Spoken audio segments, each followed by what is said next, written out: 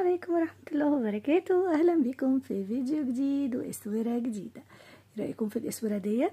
إسورة اتطلبت مني فهي شكلها غريب شوية تعبان بس جميلة يعني. ممكن تعمليها إسورة ممكن تفكيها كده وتعمليها آه، كديكور مفيش مشكلة فيها. أي حاجة تعمليها شكلها جميل وحلو خالص. بتقدري تشكليها زي ما أنتي آه، حابة. هشرح لك إزاي إزاي إحنا عملناها كده وبنتحكم فيها في الدورانات بتاعتها إزاي. سهلة وبسيطة مش بتحتاج أي مجهود. وطبعا أي حد عايز أي حاجة زي ما صديقتنا العزيزة طلبت شكل التعبان الاسورة دون وممكن على فكرة تبقى خلخال ممكن تعمليها ديكور بالشكل دون أو ممكن برضو تطوليها شوية وتتعمل زي كوليه يلا بينا نبدأ ونشوف هنعمل التعبان الصغنن بتاعنا ده. إزاي؟ يلا بينا. أنا عايز أسألك سؤال. أنتوا ليه ما بتعملوش تعليقات وليه ما بتعملوش لايك؟ مش هبدأ مش هبدأ إلا لما تعملوا لايك وتعملوا تعليق. يلا بينا. أول حاجة هعمل دايرة سحرية.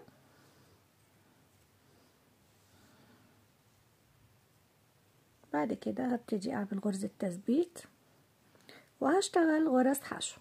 واحد اتنين تلاتة أربعة خمسة ستة. وهنشد الخيط الصغير ده كده ونقفل الدايرة. ونجيب علامة. سواء خيط أو ماركر زي ما تحبي بعد كده هشتغل على أول غرزة. هعملها حشو. الغرزة التانية هعملها تزايد يعني غرزتين في غرزة واحدة. الغرزة التالتة هعملها حشو. الغرزة الرابعة هعملها تزايد. الغرزة الخامسة هعملها حشو.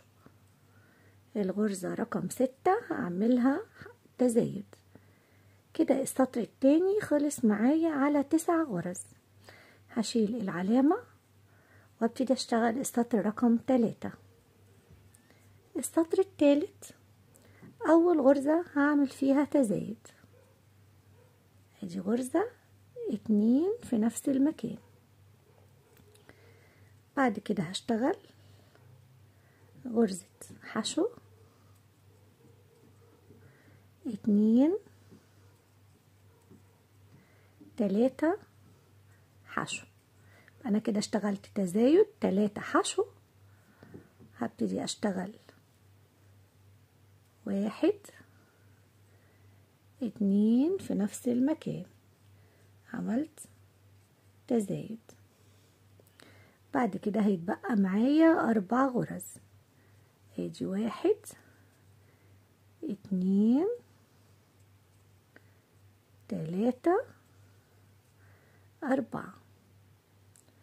وكده السطر التالت خلص معايا على حداشر غرزة. هبتدي أغير مكان العلامة وأبدأ السطر الرابع. السطر الرابع هعمل أول واحدة تزايد تاني واحدة تزايد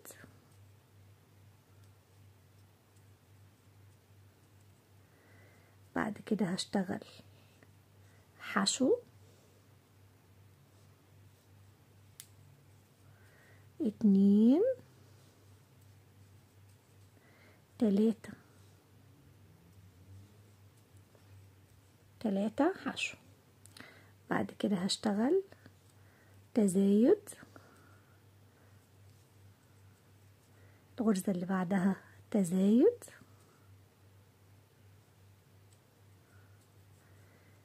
وهيتبقى معايا أربع غرز حشو.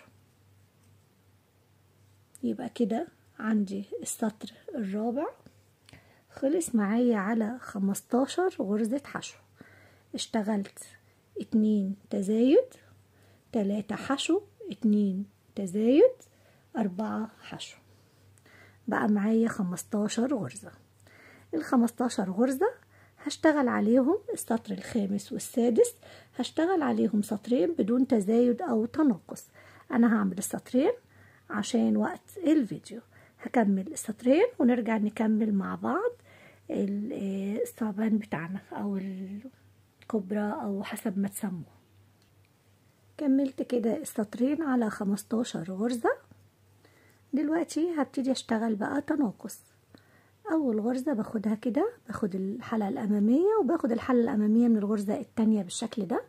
وبسحب كده كده أنا عملت تناقص. بعد كده هعمل برضو تناقص تاني. أنا كده عملت اتنين تناقص بعد كده هشتغل تلاتة حشو. واحد اتنين تلاتة.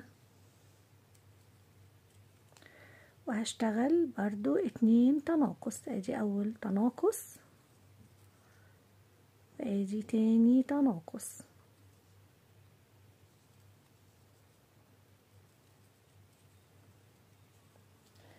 بعد كده هشتغل الاربع غرز دول هشتغلهم حشو اكملهم وارجع لكم تاني. خلصت كده السطر السابع بقى معايا حداشر غرزة. هبتدي السطر الثامن أول حاجة برضو هعمل تناقص. تناقص باخد الحلقة الأمامية من أول غرزة. والحلقة الامامية من الغرزة التانية وبعمل تناقص. بعد كده بعمل تلاتة حشو. واحد اتنين تلاتة. تناقص.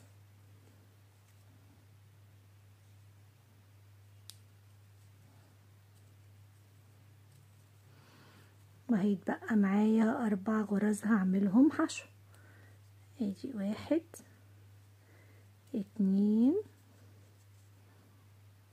تلاتة أربعة. كده السطر رقم تمانية. بقى معايا تسع غرز. هبتدي أشتغل. السطر رقم تسعة. السطر رقم تسعة هشتغل. غرزة حشو. وغرزة تناقص.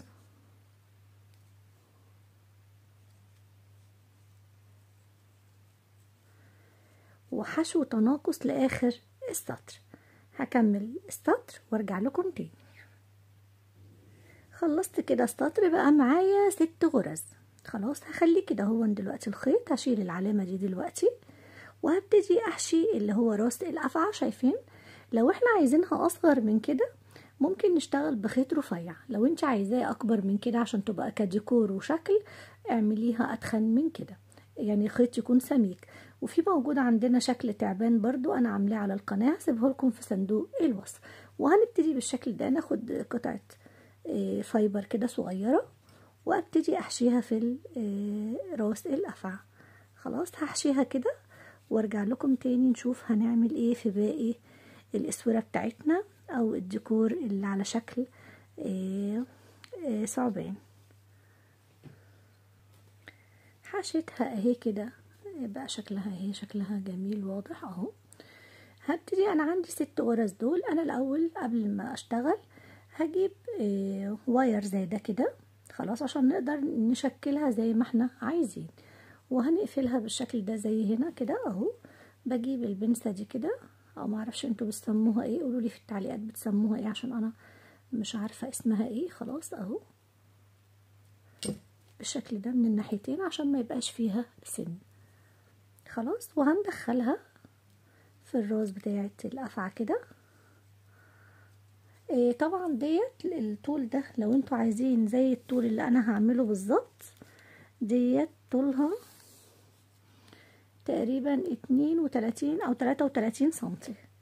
لو أنتوا هتعملوا نفس طول التعبان اللي أنا بعمله دوهم بالظبط. عايزين تدخلوا الواير ده من دلوقتي ماشي. عايزين تشتغلوا وبعدين تدخلوه بس هو طبعا لما تشتغلوه من دلوقتي هيكون يعني أحسن بالنسبة لكم. وهنبتدي نشتغل بقى على الست غرز دول. ست غرز لغاية ما نوصل للطول اللي هو طول ال wire بنشتغل كده داير ما يدور على الغرز فوق كل غرزة غرزة. هنكمل بقى هكمل أنا الطول المطلوب ونرجع نشوف هنكمل مع بعض إزاي. هكمل بقى ستة ستة لغاية ما أوصل لطول ال wire دون بحيث إن هو يبقى جوه التعبان.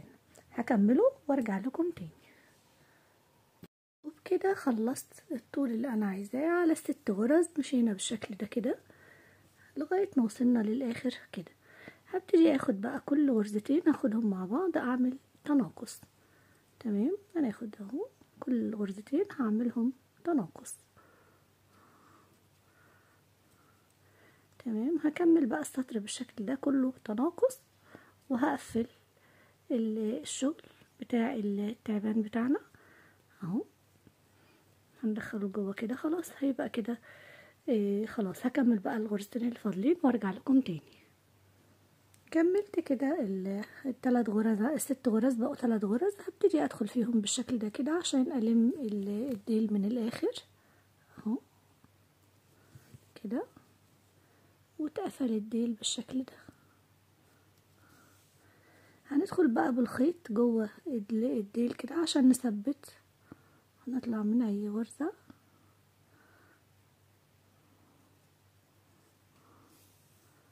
كده.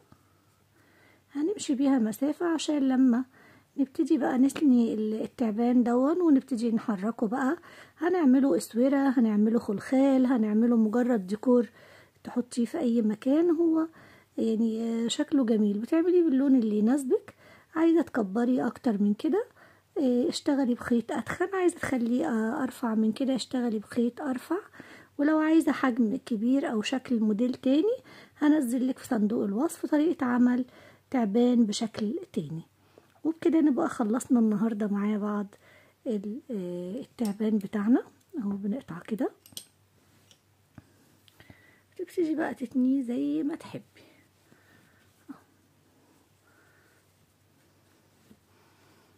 بالشكل ده.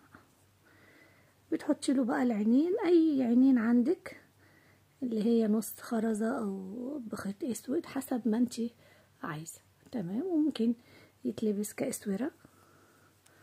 شايفين؟ يتعمل أسورة برضو بالشكل ده.